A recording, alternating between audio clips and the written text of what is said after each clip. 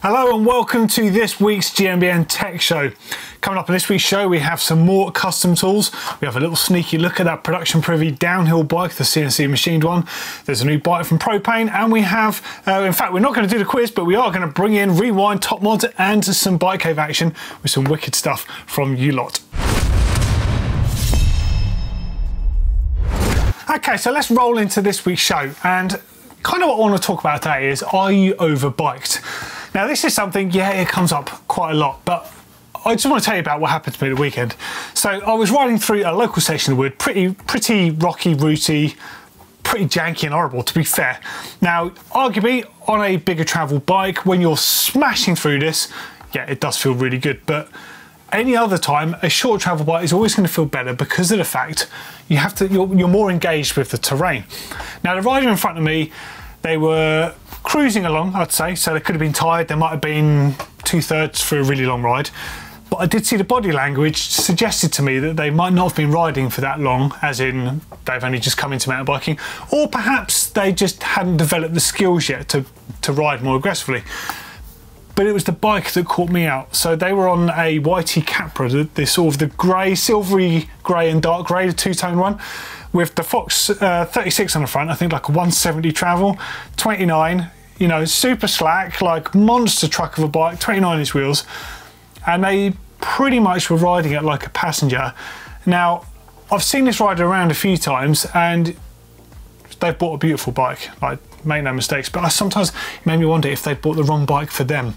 Uh, because of the fact I see him, granted, you know, uh, just take it on this story because they might ride all over the world and they're just stuck here in lockdown. But um, but my point is that bike looked like they were holding the bike looked like it was holding the rider up.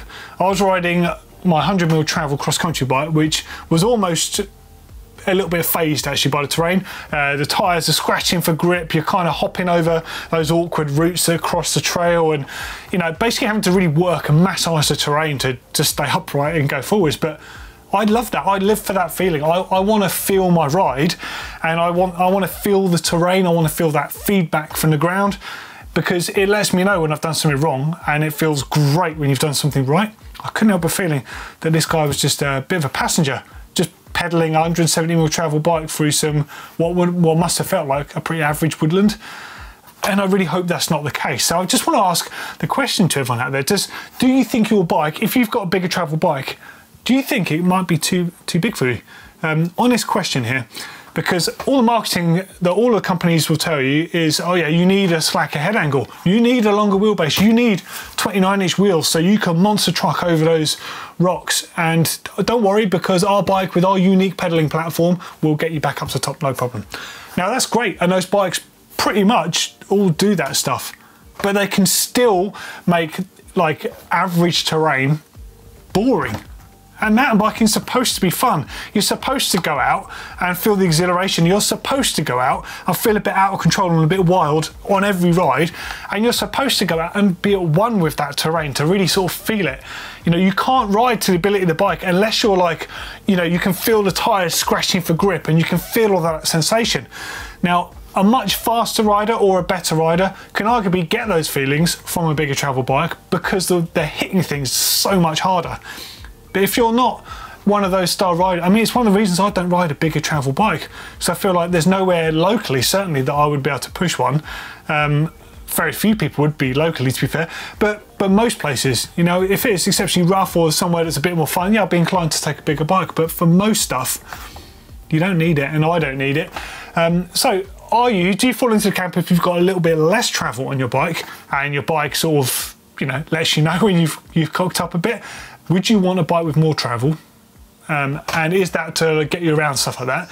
And then the other way around, are you on a bike that's got loads of suspension travel and do you feel like um, do you feel like you use it properly or do you feel like basically it holds you back or maybe it sort of uh, deadens the terrain slightly? Genuinely interested to know because you know me, I'm always fighting for that sort of the 29er 120 bike is kind of my optimum area, but of course that's not everyone. So I just want to know where you are, who's riding what, what is your favourite setup? Is it good enough for you? Is it too much? Have you got friends that sound like the person I described? Um, you know, don't get me wrong, like buy what you want. And enjoy it. That's great. That's what mountain biking is all about, or any cycling for that matter.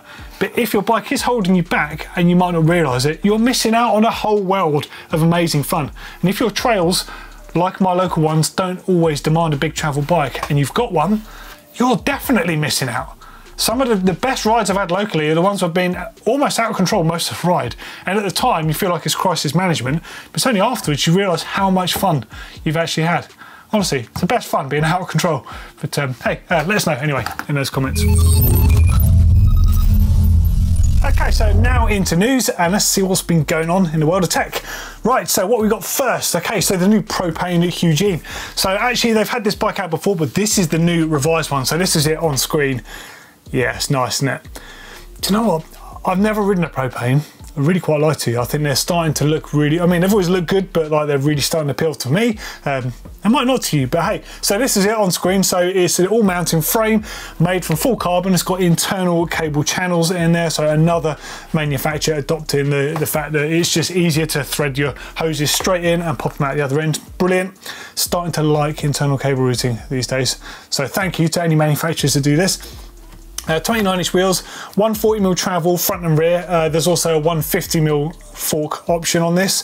They've got those dirt shields on the bearings, so that alone is a reason for people in the UK to like these bikes. It's got an extra seal on top of the bearing, so an extra barrier to stop like muck and stuff just getting into your bearings. Brilliant stuff. Now it's quite a really quite a unique ISCG mount, so this is it on screen. Now instead of bolting onto the frame or actually sort of being part of the frame, in which case either method is susceptible to damage arguably if you're sumping out and smashing stuff. Um, this one is actually plugged onto the frame itself and it's like um, they haven't said how it could be like an interference fit but the point is it's plugged onto the frame so it keeps your device in place but it does it does mean if your frame's smashed, it spreads out that load, so it's not going to get damaged, and they're available separately as a replacement part should you damage it. So for the racers out there, I think this sounds like a really good good idea for the product. Okay, so uh, well, surprise, surprise, like all new bikes, it's got steeper seat angle, it's got a slacker head angle, and it's got longer reach.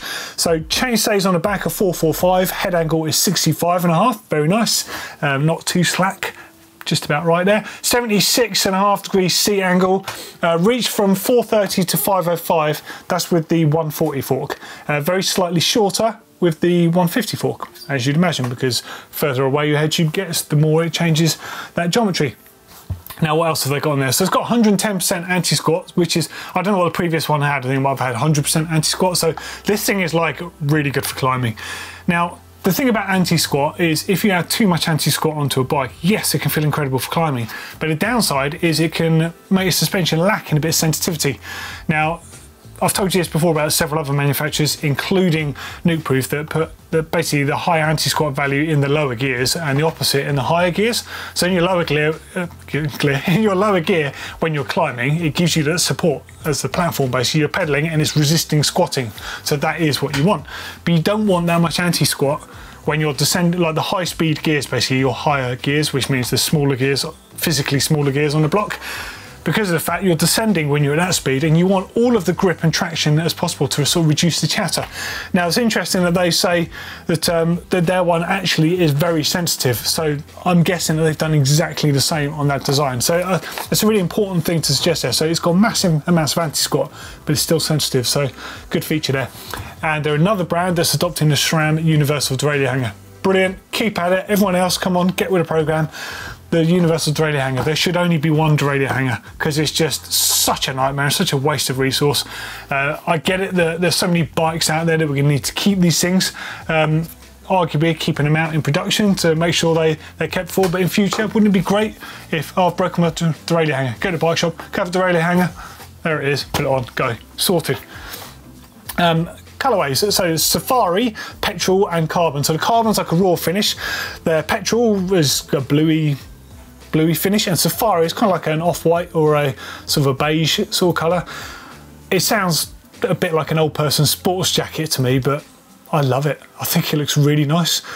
Maybe I'm of the age where a beige sports jacket is what I want. I don't know, but uh, I think it, I think this is the best looking one myself. Uh, I know a lot of you still want to go with a full blacked out thing, and some of you want to go with a cool petrol look, but uh, I'd have the Safari any day. I think he looks awesome. Um, so what else?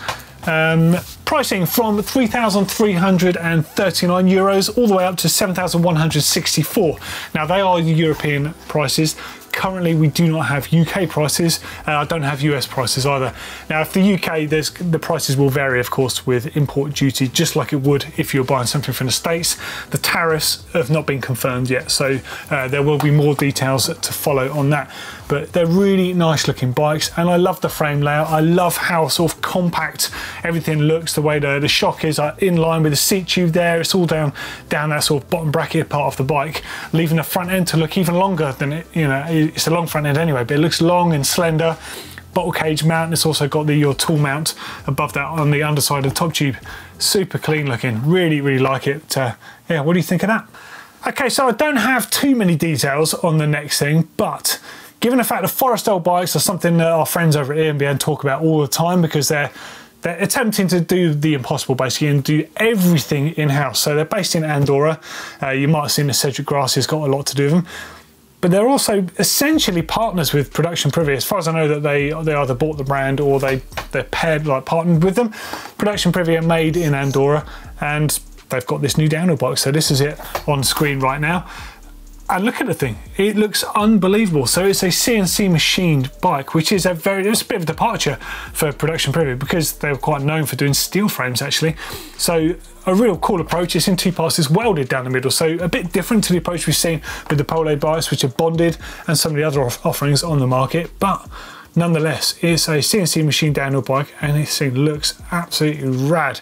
Now, a few more shots of it on screen here. Um, not a lot else to say at the moment other than the fact it is the Forestal design team that are actually behind this bike and it's of course manufactured in their facility in Andorra. I'd absolutely love to get out there. I know that Jonesy from EMBN is going to see those guys at some point. I think I might have to tag on for that trip because seeing an all-in-one production facility is making motors and stuff as well. I think this is fascinating stuff.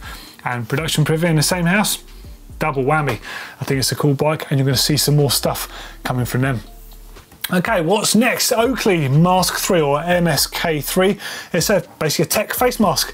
We all need face masks, unfortunately, in this day and age. Um, is part of our, our hygiene and safety, really. So this one is designed to work with sunglasses, a bit more tech because it's Oakley. So it has two filter options with it. One that's just a general sort of antibacterial one that's good for pollen and dust and other things that will give you allergies. And the other one actually is the N95. So that's got, it, it filters out uh, particles down to 0.3 microns. 95% um, of those as well, so it qualifies to be an N95. Now, there's two types of N95. You get ones like this, and you get the other ones that you see a lot of uh, construction workers have. They have the valve on the front. Now, those ones you can't use as a COVID-safe mask because of the fact that they emit droplets. The whole point of them is the valve lets moisture out. That's not what you want. Now, don't get me wrong, this is not going to stop, uh, just like a lot of these masks, it's not going to stop um, that virus getting in but it's significantly, uh, significantly going to reduce the chances, I've not had enough coffee today, of, of it getting in because we do know that the virus actually sticks to water droplets and stuff on a smaller level. So yes, it is going to give you some kind of barrier along with social distancing and all the other things. So it's not a bad thing. I think it looks really cool. It's got a bit of a tech look. 50 quid though, fairly spendy as far as masks go, but I think it's pretty good. But I like the fact it's designed to work with sunglasses, but I do have a question that's not been answered anywhere. Does it stop your glasses fogging up?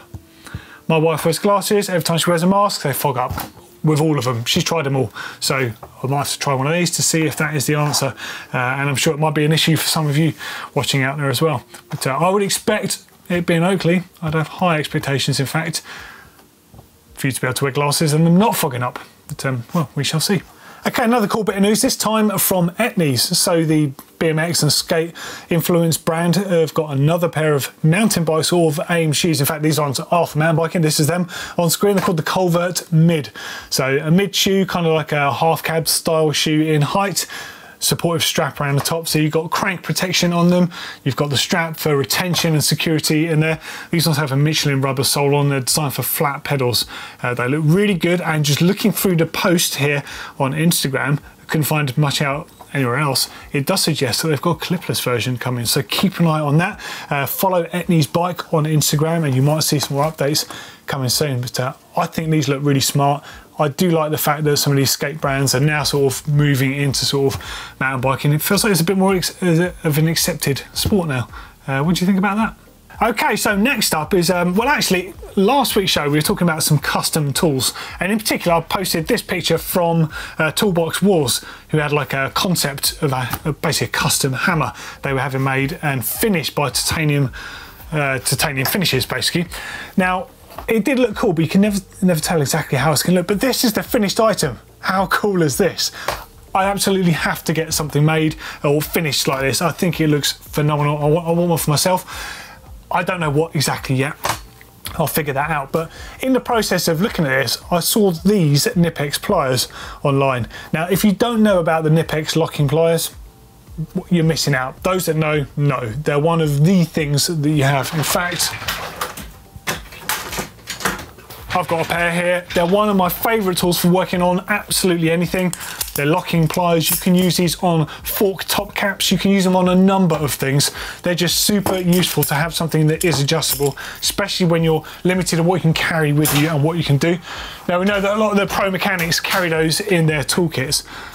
But look at these again. So these ones have got laser etching on them. They're by EDC Outlaw, producing some really cool stuff. Again, I've already got a pair of those, but N plus one with tools, kind of like hammers and wrenches and stuff. Would you have custom tools? Do you think it's a step too far? Um, is it just for crazy geeks? Uh, I love them. I'm all in for this stuff. I think it's really cool. Um, little on the pricey side, considering the price of them in the first place. I think I paid about 40 quid, maybe 45 quid for those. So, you know, they're $75. You're buying them custom, but it's custom, right? You're not going to see many more of them. Hmm. Does anyone remember Sprindex? Now, we were talking about these, I forget what show, so so long ago actually I'd completely forgotten. Coil springs you could adjust the spring rate so don't confuse that with adjusting preload. Preload will not change the spring rate. It would just uh, fractionally alter the force it requires uh, to start the movement of the shock basically. So you would put preload on if you're in the right ballpark for the spring and you just want it to not react instantaneously to your pedaling, for example. Now, Sprindex make an adjustable spring rate. It's got like a it's like a ratchet system on, on the bottom of the spring.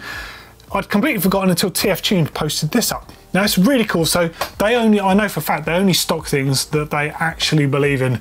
Like the staff there are passionate, doesn't come close to what they do. They live and breathe suspension. And the fact they posted this, in fact, just read it yourself on screen.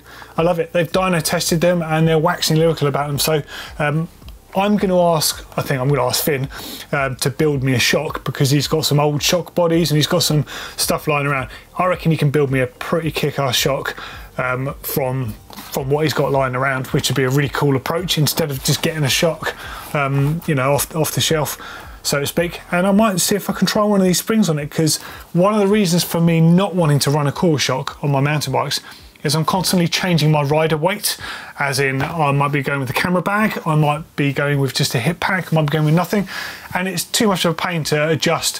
Whereas when I got an air shock, obviously it's super easy to chuck in 20 or 30 pounds and go and hit the trails. So actually, could be a good shout, I think. I think these look good. Anyone out there tried them? If you've tried Sprindex, let us know what you think in those comments. Now, if you're looking for a cool Instagram page to follow, check out Wheelbased. Now, I actually saw this this post, in fact, with the uh, Yeti rear derailleur pop up, and I was like, what the hell is that?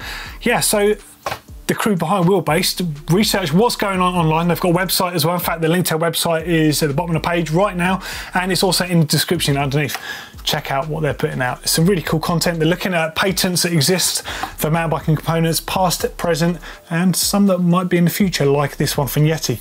Uh, it's a patent that goes back to 2018, but it's for a, what do they call it? A, it's a six, basically a six bar from what you can work out, a six bar rear derailleur.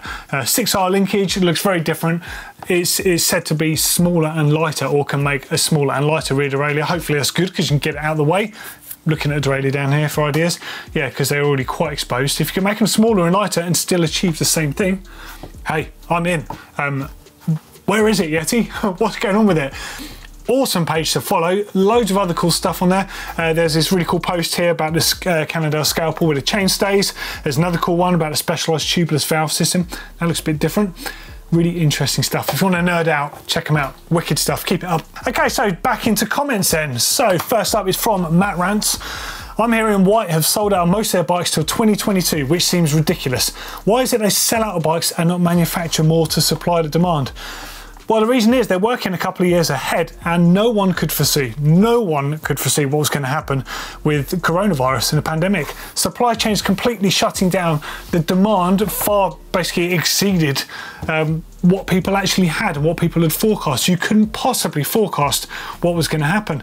Uh, this is the same. I want to stand up for White. It'd be the same for any brands out there. I really feel sorry for them because all bike brands will be firefighting like crazy to get this get these things kicking again. So yeah, it's really annoying for you, unfortunately, but uh, probably more annoying for them as well because they could have made twice the amount of bikes, probably three times the amount of bikes, and sold them if they had a crystal ball. Uh, ben Fairbrother, Doddy, more on the bike stock problems. Polygon make bikes for many companies like Calibre. They've had some leftover frames from Calibre as well as parts. From these frames, they've released the Polygon Vanda range. They have a focus on value and are made to get new riders sick bikes. Brilliant. Uh, due to the fact they're using spare parts, these frames are available to be bought now, uh, making them pretty cool and rare. Yeah, that, that's absolutely brilliant. Kind of reminds me a little bit about Mountain Mayhem, which I referred to. That's just a, a chain of shops. They basically bought loads of warranty frames and built them up with stuff that they had and sold them as complete bikes just to get around the supply issue themselves. Brilliant stuff. December 21, I was eyeing a Trek Remedy for eight weeks, out of stock everywhere. I managed to uh, nab the last medium one they had in stock. Two weeks later, Trek put the prices up 350 quid. Lucky me. Yeah, perfect example. Like, if you see it right now, buy it, basically. Otherwise, you might want to just wait a bit. Uh, Martin Owen, in two or three years, the second-hand bike market will be great when all the people who've only got into biking due to COVID get bored and sell them. Do you know what? It's actually really good now as well. Like it's a great time to buy a bike because there's just so much stuff out there. Although you do have to be careful in a second-hand market and you've got to know what the thing is worth when you're buying it because some people are hiking up prices because of the demand thing. Uh, next one from uh, Why Not 64928. Found them the containers that is. They're clogging up the waterfront in Auckland, New Zealand. Well, it also sounds like they're clogging up the uh, around Sydney and also near Southampton in the UK and various other places. So I'm imagining that this is a problem absolutely everywhere because the ships are so desperate to get in and get the stuff off. They're going out without packing them full of uh, shipping containers. Maybe I should start a shipping company specifically to ship empty containers back to Asia. Hmm. Dodge Transport. It's got a good ring to it, isn't it? Hold on. That already exists, I'm pretty sure. Uh, next up, on the throttle. Bike shop manager here. 2020 was a great year for cycling as a whole, but we're paying the price for it now. Every manufacturer we stock, and some we usually don't, have placed our entire 2021 pre-orders with. Um, we have to, otherwise we won't have anything to sell come June. Imagine in the next month or two, 2022 orders will have to start, otherwise we'll miss out on that as well. Uh, it's probably going to get worse before it gets better. It's great the demand is so high, but sad the prices are going up all around as it limits people that can access cycling. It's not like wages that go up with inflation. As Doddy said, uh, if you see a bike, buy it or risk being disappointed. I might put the first six minutes of this video in loop in the store. Uh, yeah, it's sad but true, isn't it? But uh, hey, if you're looking to get a bike right now, good luck. Um, hope you get what you want. Right, now it's time for Rewind. I get to talk about old stuff. I love this bit of the show. Uh, if you've got anything old, let us know. Um, there's a link right there on the, on the screen and there's another link you can click click on takes you through to Uploader. Now I want to just show you a few cool things that my dad dragged out and dropped on the doorstep. So this is all stuff that I I forgotten about. So I think I referred to the Branscore Bash recently. This is one of my first ever proper decent bike races. Dorset Rough Riders Branscore Bash, August 1992. Loved that race. And then uh, MBI Winter Series for 92 and 93. There's a few plates, but the other ones are so muddy you can't actually see them. In fact, if you have a look at the back of this, you'll, you'll see just how muddy. Uh, that was probably in Brentwood Park in Essex or somewhere horrible like that. But uh, that's what I grew up doing races of these. Andrew Dodd, Youth Male, number 352, Mountain Biker International Winter Series. I love it. It's like bringing back old memories. And this one actually, Malverns. I did the 92 as well, but Malverns Classic 1993. That was just like, I think that was when the penny dropped because all of these little chipper races I used to do, you go around, you see some other mountain bikers, it'd be muddy and cold, and you do stuff. But when I went to the Malverns, that was going to a festival. Have you? Uh, has everyone here been to a festival? Is a music festival, whatever?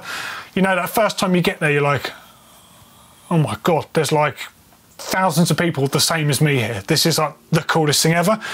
That's how I felt when I went to the Malverns in 93. And I really hope that's what I feel again when I go to Malverns this year, because uh, that's going to be a really good party. So 1903, very cool stuff. Another one, Southern Downhill from 99, I don't even know where that was. Could have been Aston Hill, could have been anywhere. And my universal spoke length equation, it was on the uh, workshop wall at the bike shop I used to work at. Pretty handy stuff there. Park Tool catalogue for 1999. And also actually, this, the Park TP number two. It's a toilet paper holder and they called it the TP number two. Get it? it's good, isn't it? Check it out. They don't make these anymore. I kind of wish they did. It's really cool. So it's basically a head tube plate of a bike with a real headset on it. And um, when you change the fork quick release, basically you can uh, put your to toilet roll on it with a mini fork. Now I used to know of a few people that would take this off and put full size forks on in their bike workshops. Has anyone got one of these lying around? I'd love to see how you use it because I'm considering trying to adapt this slightly, uh, basically make a new fork for it so I can fit shop towel on it because that would make an awesome holder for shop towel. And Calvin or Eric from Park Tool, if you're watching this, or Truman or any other cool people from Park, why don't make these for shop towel now? They're so good. Put a tapered head you to uh, keep it up to date, yeah? Nice stuff. Okay, so one more cool old thing I want to show you. In fact, is the, uh, it's only the coolest old thing there is. Now, this has been sent to me by GT Retro Tech Shop with along with a bunch of stickers.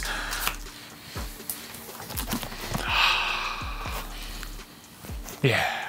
A Tioga disc drive, the Pro version. So there's two versions of these that were around in the 90s. The regular one was blue and had the, the Kevlar geodesic webbing that was basically bonded onto it. This one is basically just raw geodesic webbing and had a plastic case bonded on the top. Now, if you look up close on this, you can see it's got like what's uh, powder. Um, you obviously wouldn't have seen that to start with because that's the glue that's obviously just perished over the years. I had a really cool noise. And if you're even wondering what on earth this is, it doesn't have spokes. You have these Kevlar cords, yeah, known as geodesic webbing, um, that replaces them. So it enables the rim to flex very slightly. We're talking a very small amount here, but actually gave the rear end of your bike quite an absorbent feel and an amazing noise. Um, I can't bash this one on the floor because it has got an inner tube in it and I wouldn't do that because something's so old anyway. But if anyone out there used to have one of these or you have any footage, please share it with us because the noise of this, people need to hear what it sounded like. It just sounded absolutely amazing. And it's kind of hilarious actually that these were even considered for mountain bikes. I mean, I guess it came from the road bike world where it's all about aerodynamics, but uh, when these came to mountain biking, even to start with, they're actually like hen's teeth because they were so expensive. No one wanted to buy them, and those that bought them basically would suck them all up because you'd end up breaking them, putting your foot through them, all sorts of stuff but I just it's just such a thing of beauty. I absolutely love it. Classic old Onza Racing Porcupine tyres, 2.1 Kevlar bead on those. And they don't even feel that perished. These feel like really good condition, which is outstanding. So this is a tyre that's been re-released recently, although it looks nothing like this, just shares the same name. Uh, comes in white, of course. And it's got a Mavic on here. Which one is this? So it's a 231 CD. So CD is this sort of grey finish. You get the silver ones or the CD finish absolutely beautiful. Lovely, lovely bit of kit this. Uh, and it's an XCR hub on the inside there as well. So, uh, and this, in case you're wondering why I've even got this, um, I'm not building this on a bike. This was just lent to me by GT Retro Tech Shop. So I'm about to film a video about cool and strange bike tech from over the years. The good, the bad, and the ugly. There's going to be some old stuff in there, there's going to be some new stuff in there, and there's going to be some stuff that, well, let's face it, just shouldn't exist. And uh, look out for that video coming soon on GMBN Tech. And don't forget, if you've got anything cool, old and retro, let's see it. Put your money where your mouth is. We love this stuff. We talk about it all day long. Get your entries in soon. All right, now let's find out what you've been up to in Top Mods. Now, this is a section of the show where we talk about the modifications you've done to your bike. All those little things, all the large things you've done to make your bike a bit different, a bit better, betterer, any of that stuff. Uh, if you've done anything cool to your bike, show us. There's a link right here. There's a better one in the description underneath this video. Click on it, takes you through to the uploader, and you can tell us all about your bike. Now, I've got to confess, the title of this one made me look at it. it was called Beer Bike. so this was from Alex in Watford. I used to go to college in Watford, West Herts. I used to go to the club there. I can't even remember what it used to be called outside the pond. Um, it was pretty terrible, but um, hey, we were probably, uh, we might have even been underage getting surfing there. Who knows? Might not have said that. But uh, hey, so 2017 Cannondale Habit. I bought a second-hand um, habit and built it using the parts from my hardtail. The blue paint was tired, so I designed a little logo based on barley and hops. I'm a brewer. Nice stuff. And I made some stencils. I used spray paint, bike paints. Couldn't be, be happy with how it turned out. Head tube badge is awesome. You could have entered that in head tube badge thing recently. That looks really cool. Love it. Carpe diem, yeah, very nice. Oh, you've even got a, a bottle top on, on, your stem as well. How did you get that mounted on there? Because I have seen uh, some people make a top cap I can't tell you who because I can't remember. If anyone knows, uh, you can use beer bottles as a beer bottle tops to go on your top cap. If anyone knows what that product is, tell me because I'd quite like one myself. Yeah, love it. You've done a really good finish on that. Looking awesome. Nice stuff. Pair of Onza tyres on there too. In fact, a pair. a single one, the Ibex on the rear. Quite similar to a high roller. Not a bad thing. And up front, the Schwalbe Magic Mary. Hey, that looks really good. You've got a great finish on that. Okay, next up is, um, well, what can only be described as a fleet of bikes from Cameron. Um, they're all just going to be coming up on screen now. There's there's loads of cool stuff here. So there's a YT Capra 2016 Pro Race, a Kingdom Vendetta X2, and a Forbidden Druid. Right now, I'm looking at the shot of the Forbidden Druid it's, it's awesome. That's a proper witchcraft bike, isn't it? Or so they say. Anyway, it's a high pivot bike using an idler wheel to chain routing over the top. I think it's only got like two or three extra links on that chain from a full length one. Um, so not as much as you might think you'd need to have a, a big roof chain like that. Essentially, you've got the benefit of a big rearward axle path, so it eats up bigger bumps, but you don't have the problems of chain growth that you would have that's associated with a high pivot because you've got a chain routing over the top of it. So arguably, best of both worlds. The idler wheel system though, jury is still out for me. I've not ridden enough to to tell you how they are, to be fair. Um, but I have heard people saying you can feel a little bit more friction in them. But imagine it's, it will be negligible. If you're running sticky rubber tyres, you're probably going to feel a lot more friction from them than you would from an idler wheel. But hey, the bike looks awesome. So the Kingdom, you've got two sets of wheels on there, 27.5 plus for snow and winter, and 29s with mud tyres on as well. Wow, so you properly chop and change between those a proper winter hardtail.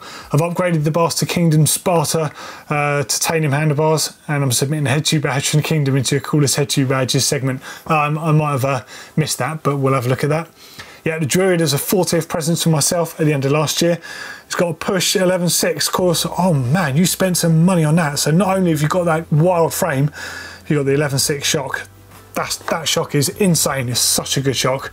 And um, dude, your bike, choice of bikes, really, really nice. Loving those custom graphics you've got as well on the fork. Uh, so they're from Richard Scott Design. Look very cool. Sort of like zombie skeleton things bursting out of the forks. Goes with the turf, I guess. Man, what a collection. I'm just going to leave your, your collection firing up on screen. Forbidden looks beautiful with all those extra colour-coded choices like the red anodized nipples and the blue jockey wheels, hub detail, bottom bracket shell I can see in there, graphics on the frame, the Hope stem spacers, headset. Yeah, just Lovely looking bike. There's that shock again.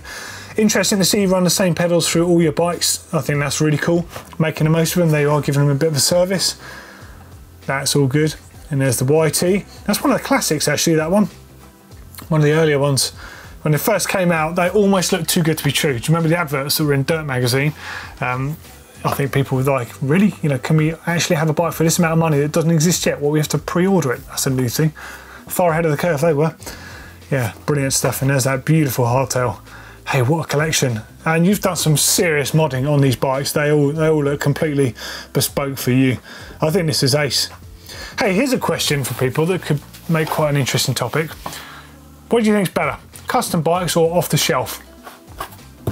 I quite like an off the shelf bike. I pretty much would change the bars, pedals, and maybe a tyre, but I'm quite happy to run an off the shelf bike. I have no issues. But I know some people, just like your good self, um, that will go the, the whole hog and change absolutely everything all by frame and completely custom spec it. Now, where are you at? Or, or even not even that fussed about it, it's just a bike, you want to ride it. I'd like to know. But uh, yeah, some awesome top mods there for this week. Uh, if you've done some cool stuff to your bikes, show and tell. Okay, and last up this week, we're going to go into Bike Cave, and I'm just looking at a hell of a cave here. Now, Bike Cave is all about your places like this, where you store your bikes. Could be the shed, could be the back of a pickup truck, wherever. Anywhere counts as long as that's where your bike lives. Uh, sharing with us. Let's see what you've made. Uh, I know a lot of people have been working on stuff in lockdown, as I can see right here. So this one says this is uh, Blake inspired. So Blake over on GMBN made a video building one himself. Uh, this is from Lee in Northwest St Helens. In lockdown 2020, after seeing Blake's project and Doddy's tech shows, I went about building a new bike cave. And mate, you've done it really well. So really good to see a massive heavy duty ground anchor on the floor there because you've got to look after your stuff. Looks like you've done a lot of OSB Sterling board everywhere. Vertical bike hooks, always good to see. And yeah, that's very Blake inspired, your little workspace there. Little selection of tools on the tool bar, tool bench thing. Got computer in the corner. Looking nice. A stack of magazines there for nostalgia. Yeah, got your vice, got a, a swivel vice like I have. Always nice and useful. And you've got some LED strip lights as well. Yeah, looking good. Very Blake inspired, in fact. I'll have to show him this one. He's, you might have seen it. You, I'm guessing you might have sent this into GMBN as well. But yeah, looking smart. How many different angles have you got? So you've got another section of it as well. Okay, obviously, so you've got your electricity box or your gas boxes here. Got a helmet shelf, more strip lighting, uh, all your CamelBaks and stuff there, and even space down the bottom there for some what looks like a multi-pack of Brewdog beers. Very nice. Okay, next was from Kevin. Nice and cosy in my cave. I live with my wife and two kids in a cottage with no garage. This is my refuge. Storage for all the family bikes and gear, plus tools, workbench, and a bench for getting dressed to ride. I even have a flat screen uh, space to pull out the rollers and watch GMBN videos. Hey, it looks awesome. So you've got your guitars in here as well. Hey, look, where on earth is this built? It looks like you've built it on the side of a cliff or something with all the rock in there. Um, interesting stuff. Looks cool. Great use of the space as well. Uh, a few more angles of it here. So yeah, got the bikes wedged in there, loads of good stuff there. Hey, it's great, you've made great use of that space. Yeah, I like the workbench as well. Nice and compact to the back, nothing getting in the way. And I love that old T-handle park tool there. You've had that from, uh, from the 90s. Good bit of kit, I've got one of those. And there's all your riding bags next to the guitars. Nice work. Hey, really enjoyed looking through all your content this week. The quiz will return next week. I just wanted to give a bit more time to the Rewind, Bike Cave and Top Mod sections. Honestly, love seeing what you've all been up to, so keep us up to date with everything you're doing, and we'll see you on next week's show. See you later.